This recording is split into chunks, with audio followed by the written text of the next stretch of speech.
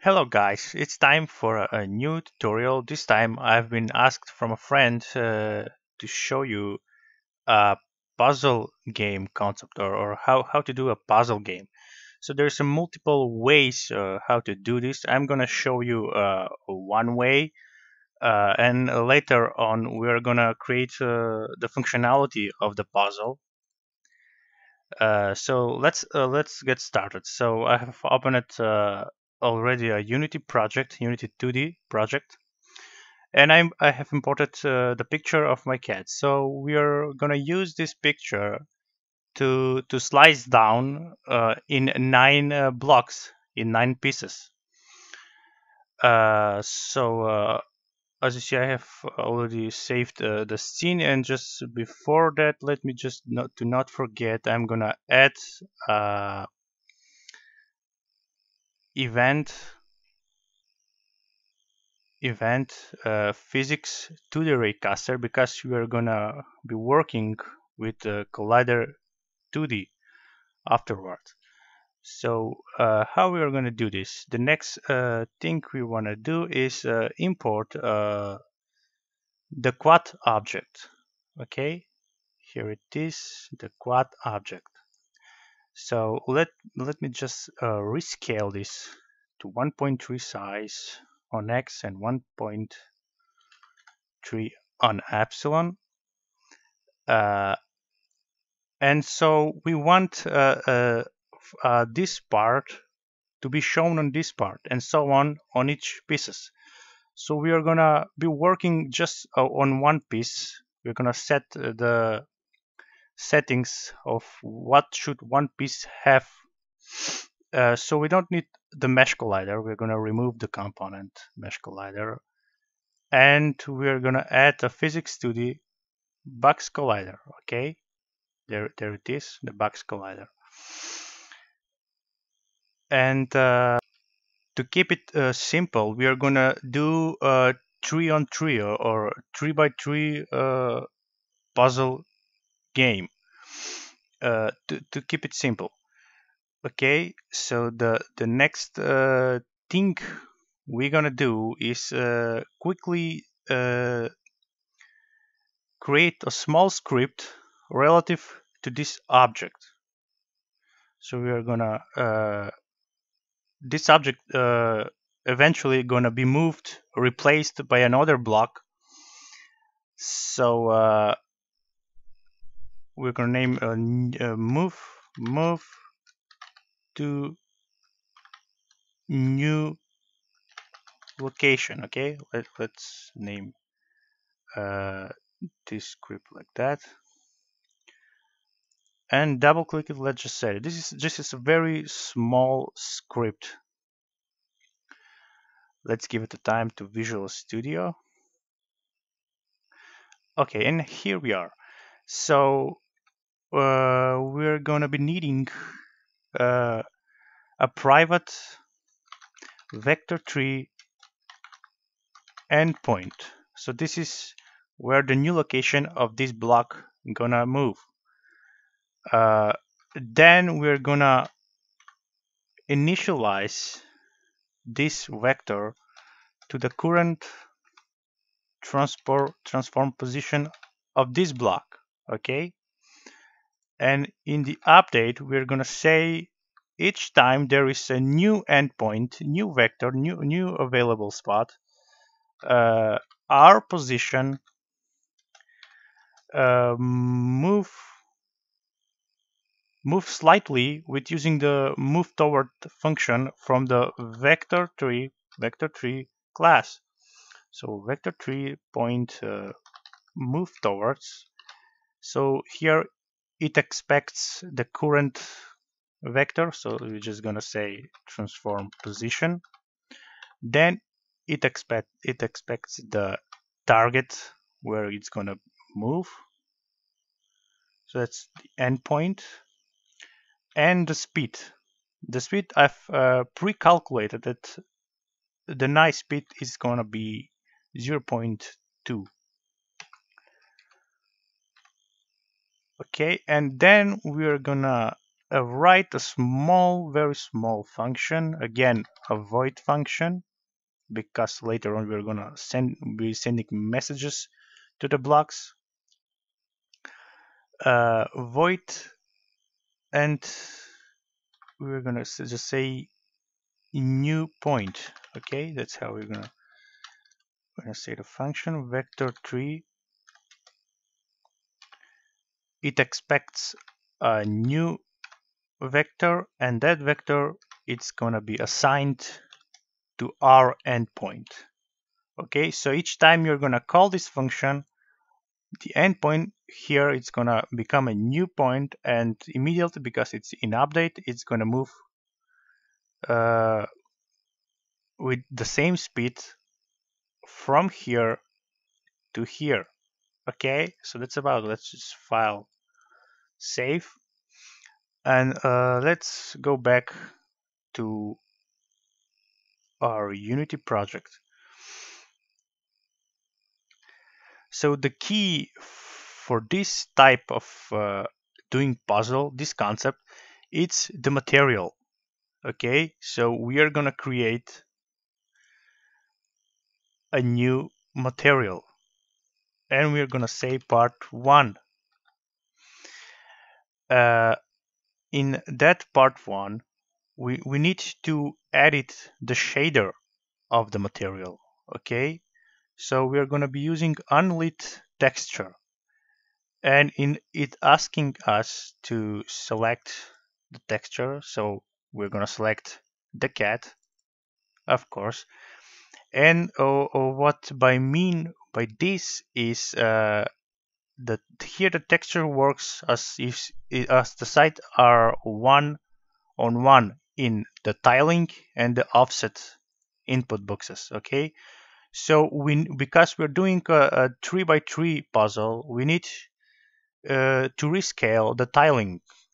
So that would be 1 divided by 3 it's 0.33 and also for epsilon uh, and here we want to do uh, 0. Point, the offset 0, 0, 0, 0 0.66 I'm gonna just just just in a second I'm gonna show you why it's 0 0.66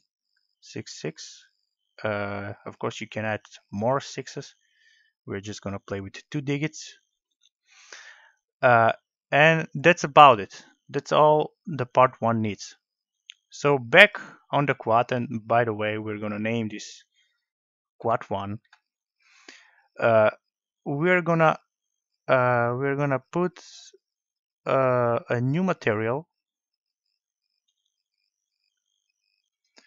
We're gonna put new material in the mesh renderer. So instead of default material, it's going to be the part one.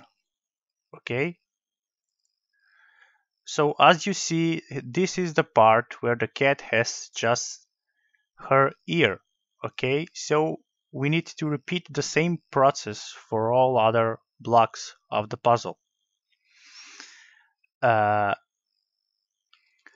and the key to this is uh, to just uh, go and uh, because this is the material is the key we just go and uh, copy open explorer just copy these parts.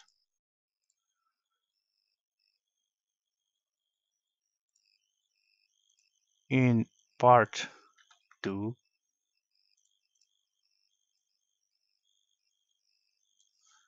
okay up uh, to 9 so let me see just if this works. Yeah it's gonna it's giving us our an error an error but uh, I think it's nothing. Okay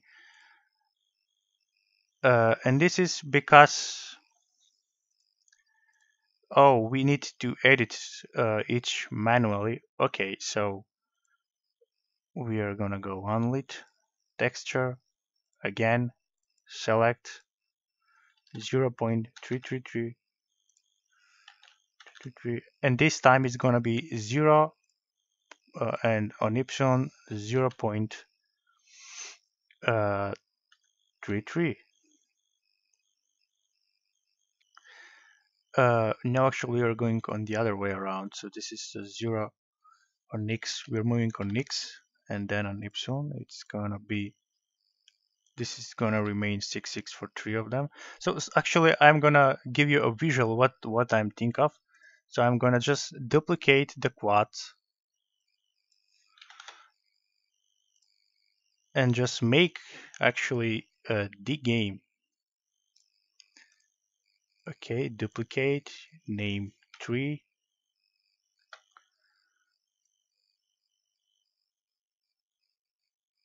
okay position this and then just select all of them duplicate multiply and again duplicate duplicate uh, multiply. And this is this is our puzzle okay? Nine pieces and so we need to, to assign the correct material to create and, and assign the correct material to all blocks. So before that let me just rename this properly. Okay quad 5 quad 6 quad 7 and quad 8 okay and uh, so what I'm doing is imagine that this is the start point of the texture okay? Zero. And so when I say this in the part one I say uh, zero okay? So this is zero and we need to move up two blocks and that's 0 0.333 and now 0 0.66 okay? So it's here. So now we have to move here then here then here then here and so on. So in part two we have we have moved here and here. So we need this okay? So this is done. So let's create another material. This is part three. Again this is kind of redundant. Select the same 0.33 tiling and now we moved uh, to 0.66 on X and this remains same. Okay so we uh, just to show that I'm right I'm gonna uh, assign the new part. So this asks for part 2 so we give a part 2 see there there is the continuation of the picture. And quad 3 needs the part 3 and uh, so on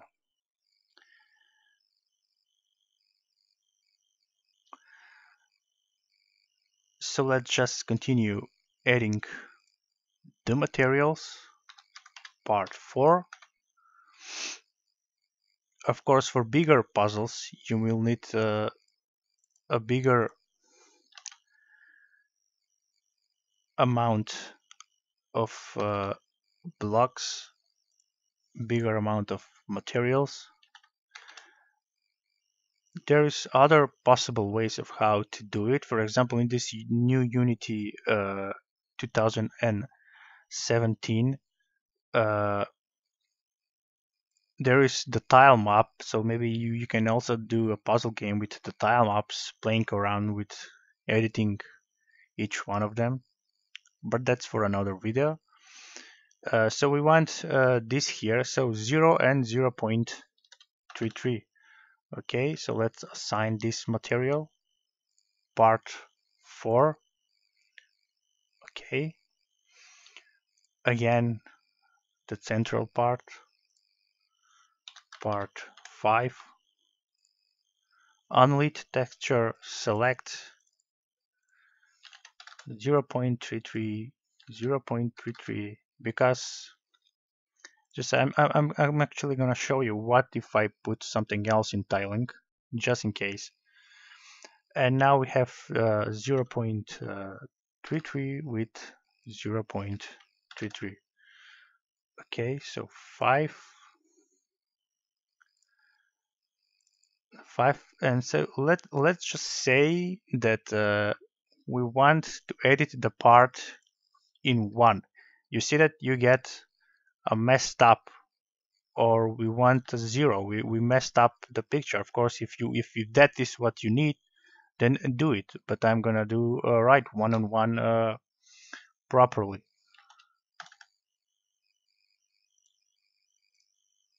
Okay, so we let's move to the part six.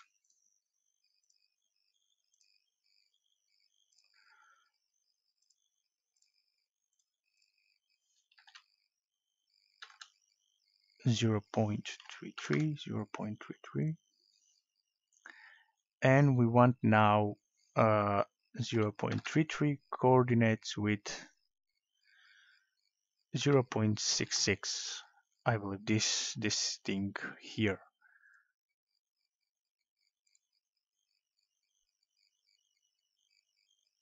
Oh we didn't name part uh, 6 okay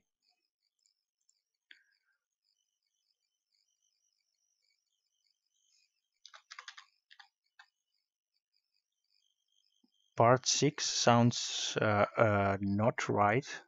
Actually I need this to be 6 6 and this to be 3 3 we're, we're still on that. It's about right. We're still on the second row. And now the final row. Create material. Unlit texture. Of course, you can do other shaders as long it has tiling and offset attributes.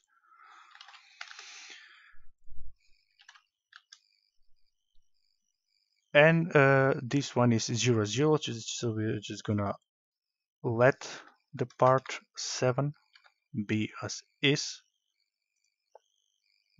So quad 7 is a part 7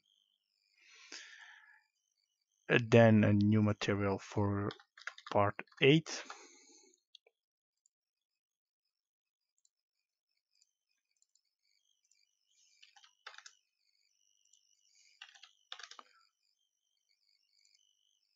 and this just asks for the epsilon. Part 8 oops I think we did wrong here part 8 is uh, 0.33 and this epsilon is 0. Yes, of course. I'm getting confused. Part 9, the last part, and we're good to go to do a little scripting of how actually this game is gonna function. It's not a big deal. We're going to do 0.66 and this is 0 epsilon. So let's just put the last part. Okay, so what we want to do here is uh, move this slide, this block, when we press it, we're gonna move here and this block here, it's gonna go here. But how do we know if uh, this block wanted to go here and not here? So that's why we're going to put a new object, a finger object. So we're going to create an empty object called finger object. Okay. And we're going to add I don't know why the z is not zero. Okay, uh, we're gonna add uh, a physics uh, circle circle collider 2D. Okay, here it is. I think we're gonna be move this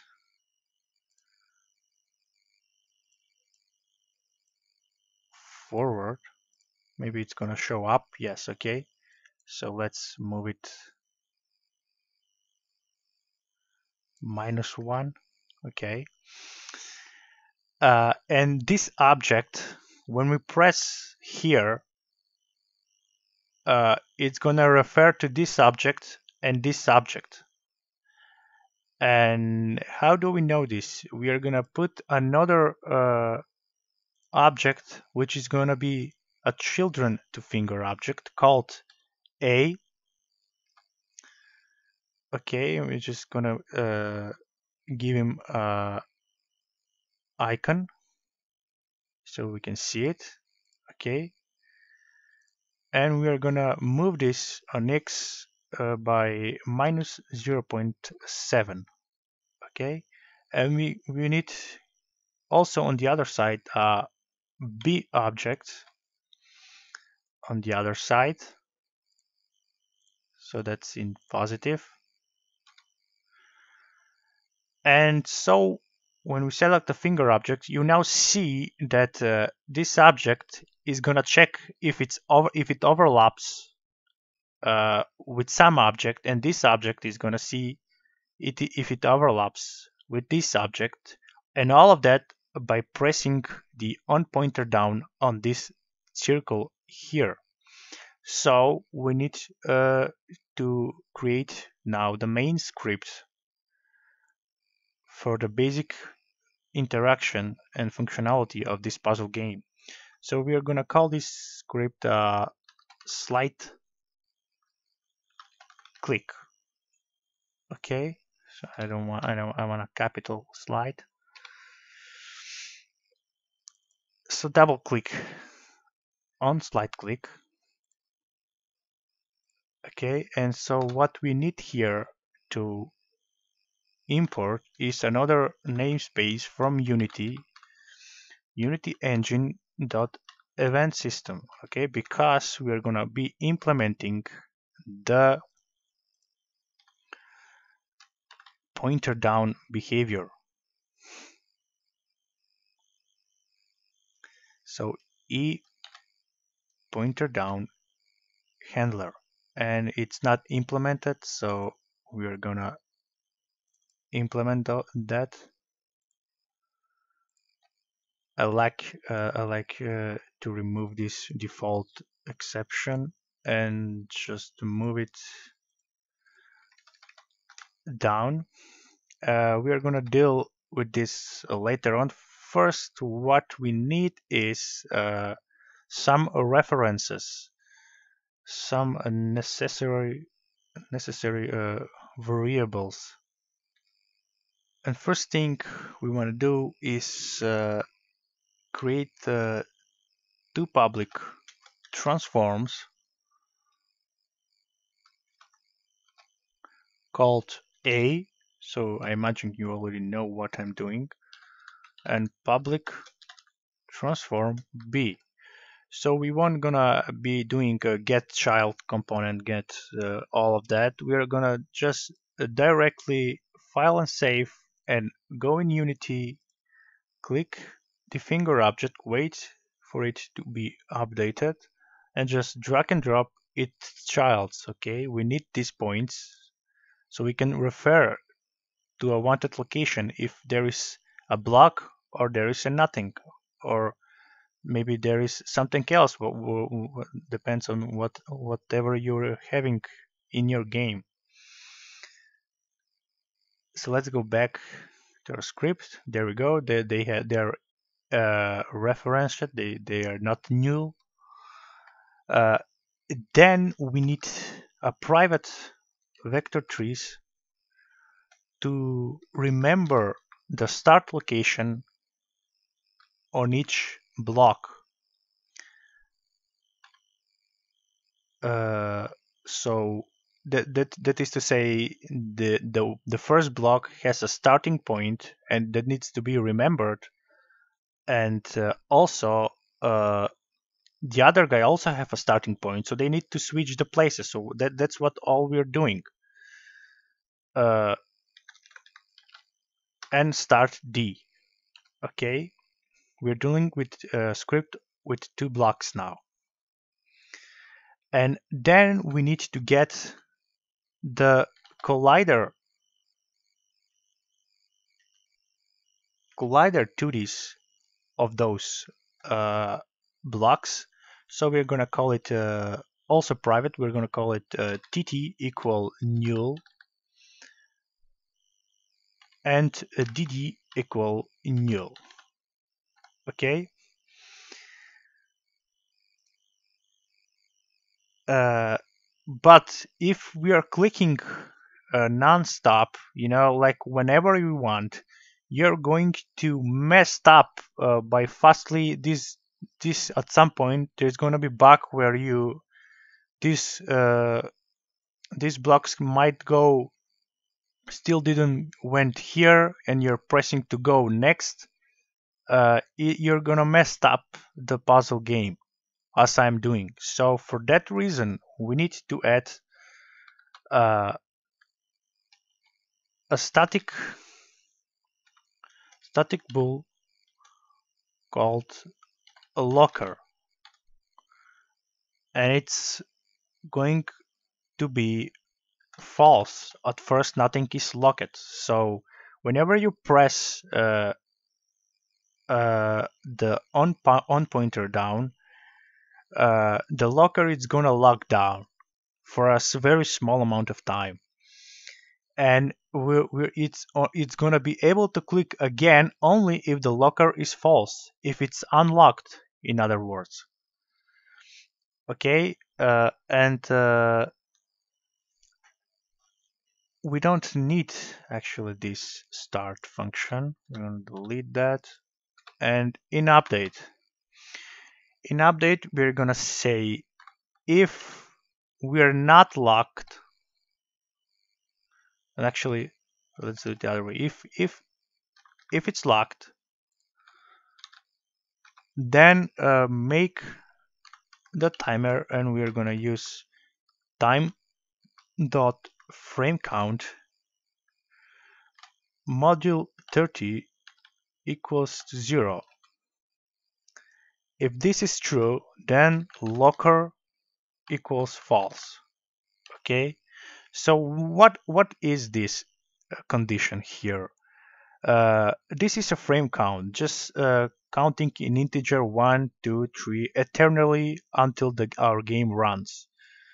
So this 30 here means a half second. Because 60 frames is 1 second, we need a half second to pass. And what is this module here? This module means that, uh, let's just say the frame count is now at 1 one module 30 is uh, 1 divided by 30 is 0 but the 1 still remains. So 1 equals 0 it's not true.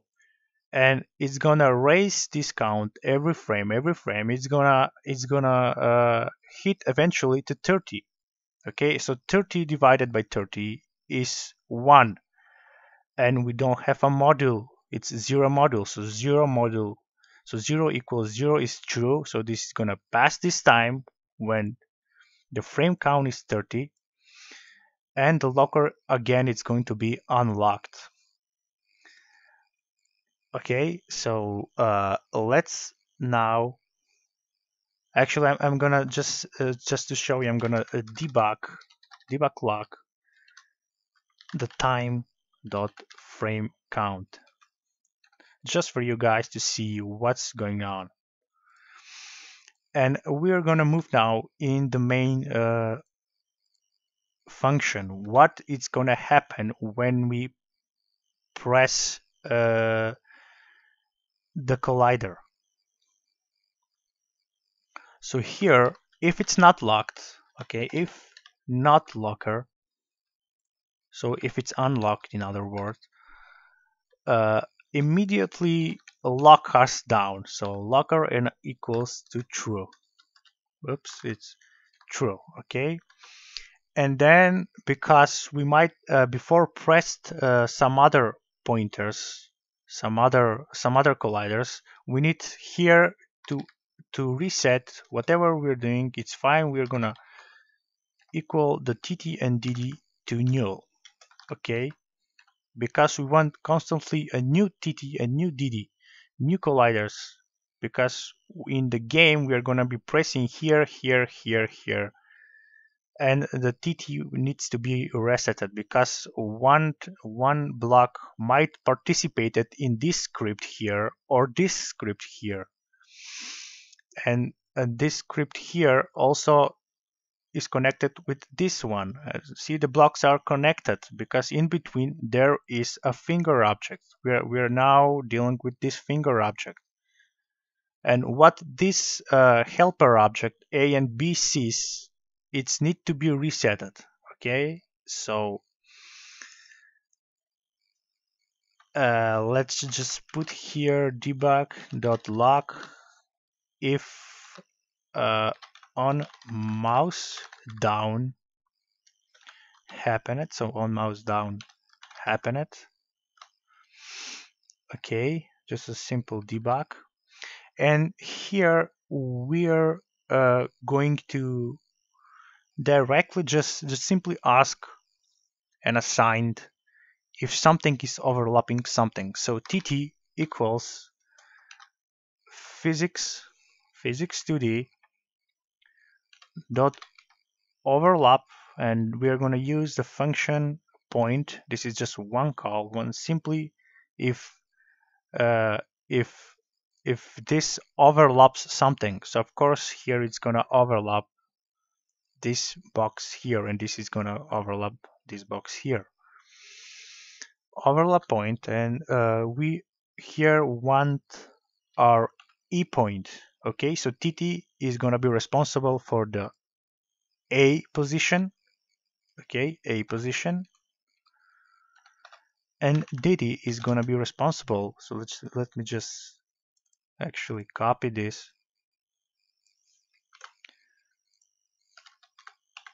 Dd is going to be responsible for the b position. And what are those? Those are this here. We we have them and uh, now it's uh, time for the exception checking. So if tt it's not null okay it's not null so there is some things there is there is a block that we detected here that because this might return false. And dd is also is also not null. Okay i'm gonna just type if both exist. Uh, then we need uh, to save our their, their starting position. So start t equals tt dot transform dot position. Okay and the same about the starting of the b. Actually that's the dd position. So dd dot transform dot position okay? And now we are good to say to send to spread the message to the actual boxes to to go in this script and uh, call this function within them okay? And how we're going to do that? With the basic concept that unity has so tt this is the collider 2d and what game object is uh, assigned on that collider is the game object, the instance itself.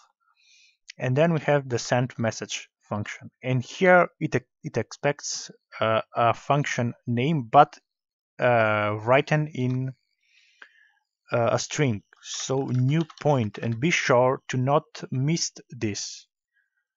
Okay, new point is the same name of the function here, new point, exactly as, as it is. You might want to copy and paste in uh, like a string.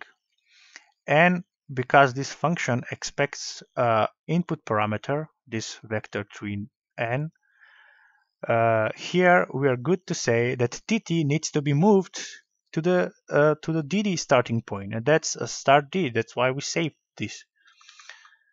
Uh, the thing why we are saving is because uh, this is going to start moving and no longer uh, uh, the starting we, we won't know the starting position. So that's why we're saving it in start d and also tt with in start t. Okay so i i think you get the point. Uh, and dd dot game object dot send message same process new point and this time a D is moving to T, to TT, okay? And uh, that's all about this script. let me just see if, if I forgetting something. Okay, so let's save. And actually, we, we let's just see if we are good, good enough so far. So if I click here, uh, we are forgetting the event system actually. Uh, so we forgot a small thing. Uh, we need to import the user interface event system.